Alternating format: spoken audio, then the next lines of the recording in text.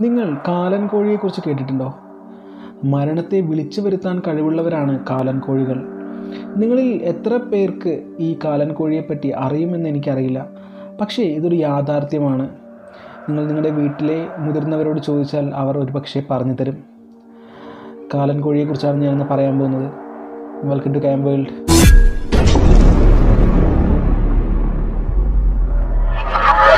രാത്രിയുടെ അവസാന യാമങ്ങളിലെ യാത്രികരാണ് ഇവർ.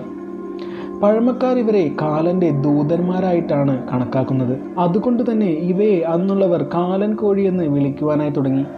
ഏത് രാത്രിയിലാണോ വളരെ ഭീകര ശബ്ദത്തോടെ കാലൻ കോഴികൾ ആ ശബ്ദം ആ പ്രത്യേകതരം ശബ്ദം പുറപ്പെടുവിക്കുന്നത് അന്ന് നേരം പുലരുന്ന സമയത്ത് ഒരു മരണവാർത്ത നമ്മളെ തേടി എത്തിയിരിക്കും. ഇതൊരു അന്ധവിശ്വാസം മാത്രമാണ് എന്ന് നിങ്ങൾ കരുതിയെങ്കിൽ നിങ്ങൾക്ക് തെറ്റി.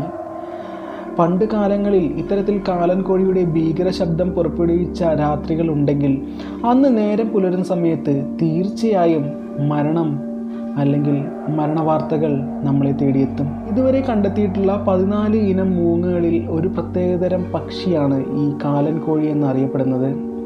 നീണ്ട ചുണ്ടുകളും അതുപോലെ തന്നെ കൂർത്ത നഖങ്ങളും എരിയുന്ന കണ്ണുകളും ഒക്കെയുള്ള ഒരു ഭീകരമായ രൂപമാണ് ഇതിന്റേത്. ഇവരിൽ പെൺപക്ഷികളെക്കാൾ ആൺപക്ഷികൾക്ക് വളരെ ഉച്ചത്തിൽ ശബ്ദം ഉണ്ടാക്കാനായിട്ട് സാധിക്കും.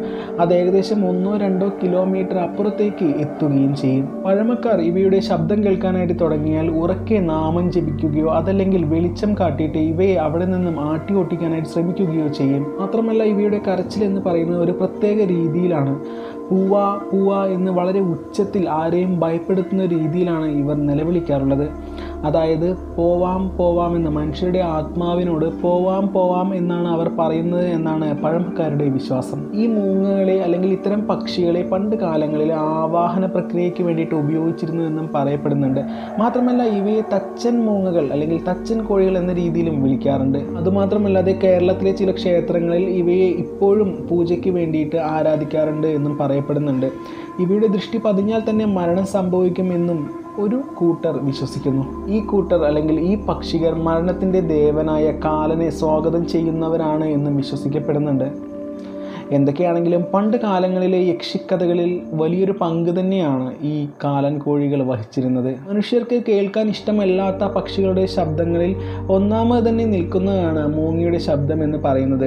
എന്നാൽ വളരെ ഉച്ചത്തിൽ ഇത്തരത്തിൽ ഭീകരമായി ശബ്ദമുണ്ടാക്കുന്ന ഈ പക്ഷികൾ ഇപ്പോൾ വംശനാശം സംഭവിച്ചുകൊണ്ടിരിക്കുകയാണ് എന്ന് റിപ്പോർട്ടുകൾ പറയുന്നുണ്ട്. ഇവയ്ക്ക് വംശനാശം സംഭവിച്ചുകൊണ്ടിരിക്കുകയാണ് എന്ന് പറയുന്നതിന്റെ പ്രധാന കാരണം എന്ന് പറയുന്നത് ഇപ്പം ഇത്തരം പക്ഷികളുടെ അല്ലെങ്കിൽ ഇത്തരം കാലൻ കോഴികളുടെ സാന്നിധ്യം ഇപ്പോൾ പൊതുവേ കാണുന്നത് വളരെ കുറവാണ്. വനപ്രദേശങ്ങളിലെ വളരെ പൊക്കമുള്ള മരങ്ങളിലെ വളരെ അറ്റത്ത് അതായത് ഏറ്റവും അറ്റത്തിരിക്കുന്ന ചില്ലകളിലാണ് ഇവർ പൊതുവെ വസിക്കാറുള്ളത്. എന്തൊക്കെയാണെങ്കിലും ഇന്നും രാത്രിയിൽ ഇത്തരത്തിൽ മൂങ്ങയുടെ ശബ്ദം കേൾക്കുകയാണെങ്കിൽ എല്ലാവരും ഭയത്തോടെ അതിനെ ആട്ടി ഒട്ടിക്കാറുമുണ്ട് ഒരുപക്ഷെ ഇത്തരം കാലം കോഴികൾ മരണത്തെ മനഃപൂർവം വിളിച്ചു വരുത്തുന്നതാണ് എന്ന് വിശ്വസിക്കുന്നത് കൊണ്ടാവും അവർ ഇത്തരത്തിൽ ചെയ്യുന്നതും. എന്തൊക്കെയാണെങ്കിലും പണ്ടത്തെ മുത്തശ്ശി കഥകളിലെയും ഒരു വില്ലൻ തന്നെയാണ് ഇത്തരം കാലം കോഴികൾ. ഇത്രയും നേരം ഞാൻ പറഞ്ഞ തിരിച്ചും അടിസ്ഥാനപരമായ കാര്യങ്ങളാണ് യാദൃശ്യമായിട്ട് എല്ലാവർക്കും അനുഭവപ്പെട്ടിട്ടുള്ളതുമായിട്ടുള്ള കാര്യങ്ങൾ. ഇനി എന്റെ പേഴ്സണൽ അഭിപ്രായത്തിൽ ഞാൻ പറയുകയാണെങ്കിൽ ശരിക്കും ഞാനിതിൽ വിശ്വസിക്കുന്നുണ്ട് എന്ന് തന്നെ വേണമെങ്കിൽ പറയേണ്ടി വരും. കാരണം എന്റെ അനുഭവത്തിൽ ഇത്തരത്തിൽ കാലൻ കോഴികൾ കൂവുന്നത് ഞാൻ ഒരുപാട് കേട്ടിട്ടുണ്ട്.